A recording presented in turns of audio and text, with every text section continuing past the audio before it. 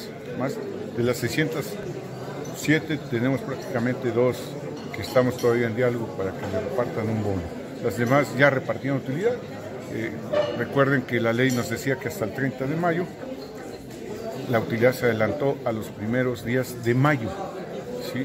Entonces, de los primeros 15 días de, de, este, de la última semana de abril al 10 de mayo se repartió ya prácticamente el 99% de utilidades en Puebla. Fueron cantidades multimillonarias.